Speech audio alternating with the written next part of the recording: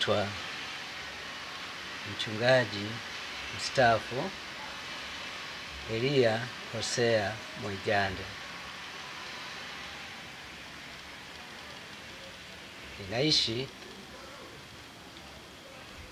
katika kijiji hiki cha Ngereka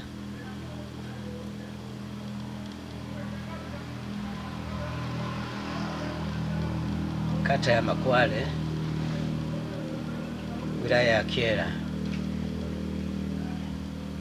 mkoa wa Mbeya. Kinachoendelea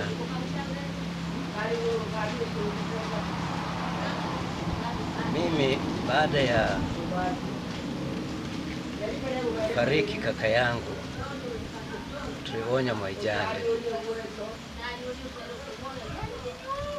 nikarithi ukoo wangu kanirithisha kwenye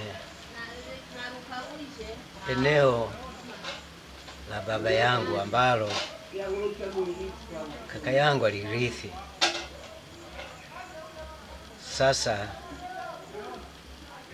ninaendelea kusafisha eneo lile. Sijajua sasa katika kusafisha kwangu kwa eneo lile, sijajua kwamba wengine kuna watu wengine ambao hawapendelei kuwepo kwenye eneo lile. Naendelea kuishi nikijua kwamba hakuna tatizo lolote, na ndio upande wa familia, ingawa eneo lililopo kanisa la mtaa hapa Ngereka, baba alitoa eneo kwa kanisa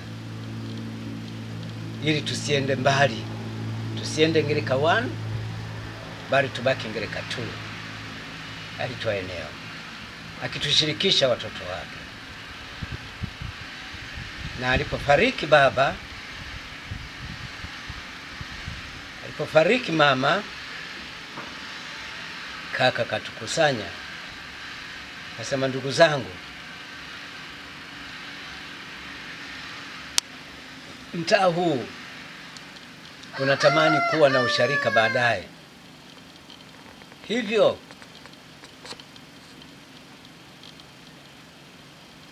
ili Wakristo wasihangaike mahali pa kujenga nyumba ya mchungaji, tuwaongeze eneo la kujenga nyumba ya mchungaji tu, wala si vingine, nyumba ya mchungaji tu. Basi tukawaongeza sehemu ya kujenga nyumba ya mchungaji na kuweka msingi. Baadaye tatizo hili la mgawanyiko wa kanisa wao wamebaki kwenye kanisa lile tuliyojenga. Mimi na mke wangu tumekataa kuhangaika, hivyo hatuna mahali pa kusali. Hatutaki vurugu za kuingia mle, kwa sababu eti ni eneo letu, kwamba ni wafukuze Wakristo wa, wanze kwa, wa, watoke mle ndani sitaki.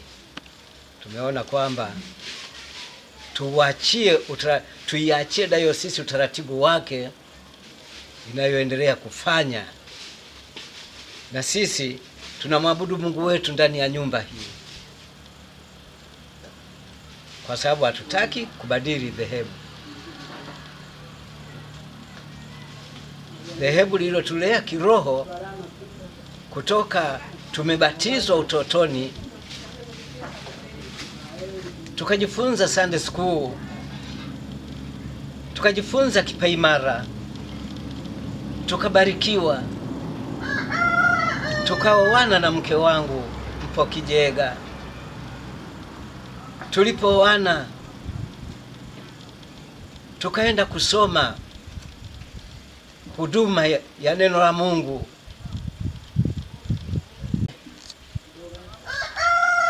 Tukasoma masomo ya uchungaji, tukabarikiwa uchungaji, tuka tuka tukapangwa huduma, tukahudumia sharika nyingi, tukawapeleka Wakristo kwa Yesu. Kanifyeka migomba kwenye urithi ambao nilipewa mimi, nilirithi baada ya kufa kaka yangu kule kwa baba, nilirithi sasa kwa sababu mimi ni mwanadamu, sijajua aliyefyeka migomba alikuwa amechukia nini, sijajua, sijajua. Na mimi naendelea kushangaa tu, naendelea kumwangalia Yesu Kristo katika Biblia. Kwamba nanasema nini.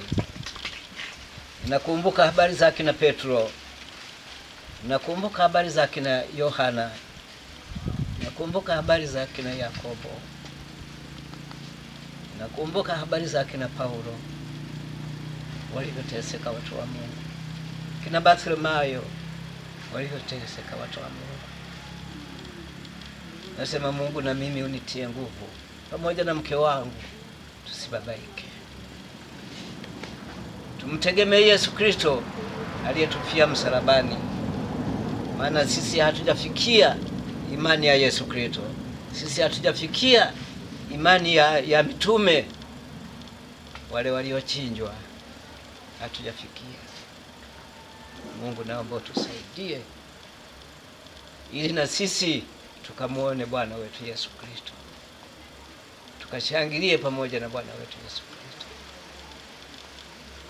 Tukaserebuke pamoja na Bwana wetu Yesu Kristo. Na mwenzangu, tukamtukuze Bwana, tukasema asante kwa, kwa kutufia, asante kwa kutushindia, asante kwa kumnyang'anya shetani funguo, ukatupa mamlaka sisi Baba, na kushukuru tukamshukuru, tukamshukuru Yehova aliyetupa Yesu, tukamshukuru Roho Mtakatifu anayetutakasa kila wakati. Shetani anapotutupia matakataka, Roho Mtakatifu anatukumbusha, anasema damu ya Yesu hiyo, ogeni, nendeni kwenye chemchemi ya Yesu Kristo. Anatuosha, anatuosha kila wakati. Hilo nikamshirikisha kaka yangu ambaye ni wa nyumba ndogo lakini kwa kuzaliwa yeye ni mkubwa kwangu, ila kwa ukoo mimi mama yangu alikuwa mkubwa, kwa hiyo ndio maana walinipa kurithi pale, nikamshirikisha na mdogo wangu nikamshirikisha na dada zangu nikawashirikisha, tukamshirikisha balozi wa nyumba kumi, tukamshirikisha mwenyekiti wa kitongoji, akapiga ngoma, watu wa Mungu walikusanyika.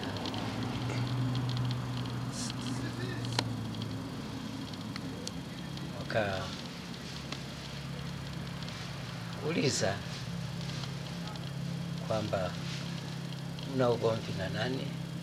umekosana na nani? Tukawaambia kwamba hatujakosana na mtu, mpaka tendo hili linatokea, tunashangaa. Sasa kama nilivyoeleza, sijajua, lakini maana siwezi kutuhumu kitu ambacho hujakiona. Mimi ni mwanadamu niliyepofusha macho, sioni mambo ya sirini, ila Mungu ndiye anayeona hili swala limetokea tokeaje.